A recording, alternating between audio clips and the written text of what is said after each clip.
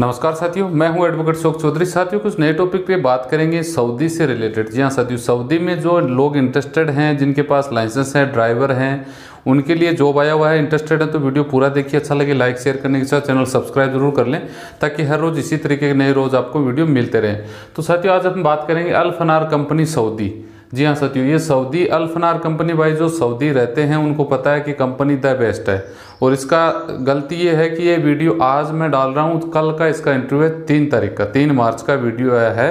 तो भाई कोई आस पड़ोस के कोई बंदे हैं तो एड्रेस डाल दूँगा, वहाँ जाके आप अपना काम करवा सकते हैं अगर आपके पास लाइसेंस वगैरह है तो।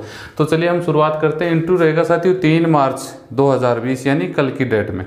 इसमें साथियों जॉब की कैटेगरी की बात करें तो हेवी ड्राइवर हेवी ड्राइवर इसमें सैलरी है, बता दूँ, इसमें आपको, लेकिन इसमें कंडीशन ये रहेगी कि आपके पास जीसीसी लाइसेंस होना ज़रूरी है। अगर आपके पास बाहर का लाइसेंस है तो 2000 सऊदी रियाल आपको सैलरी प्लस ओवर टाइम वगैरह आपको इसमें मिल सकता है। यानी बंदा पचास हज़ार रुपये आराम से कमा सकता है मिनिमम से मिनिमम ठीक है साथियों? आगे हम बात कर लेंगे हेल्पर से रिलेटेड भाई हेल्पर से रिलेटेड भी इसमें जॉब आया सैलरी भी अच्छी है। ग्यारह सौ रुपये प्लस ओवर टाइम आपको मिल जाएगा। यानी नौ सौ प्लस दो सौ भी इसको आप मान सकते हैं।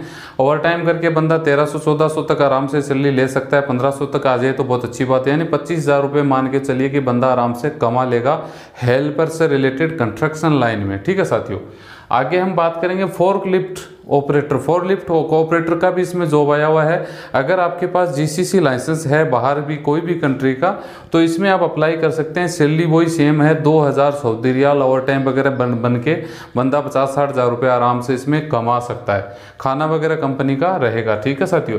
एज की बात करें तो बाईस साल से पैंतीस साल की एज का बंदा इसमें चाहिएगा।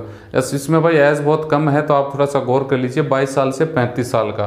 अगर आप इसमें नोट एक खास बता दूँ, अगर आप सऊदी से एग्जिट आए, सऊदी से छुट्टी आए हैं, वापस नहीं गए, या फिर आपका वीज़ा वगैरह एक्सपायर होने से पहले आप आ गए तो आपके पास एग्जिट होना ज़रूरी है। अगर आपके पास एग्जिट नहीं होगा तो आपको दिक्कत आ सकती है। एग्जिट आपको पेपर साथ में लेके जाना है इंटरव्यू स्थल पे।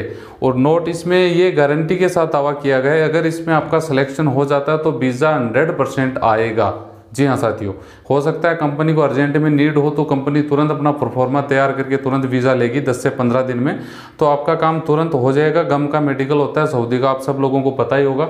मैंने मेरी तरफ़ से इंक्वायरी दे दी है। हमारे Rajasthan Sikar manpower office का ये इंटरव्यू रहेगा, साथियों। मैन पावर ऑफ़िस है हमेशा ध्यान रखें। रजिस्टर्ड मैन पावर ऑफ़िस का जॉब है हमारे राजस्थान सीकर में। तो आप एड्रेस छोड़ दूँगा इंटरेस्टेड हैं तो इसमें आप अप्लाई करें।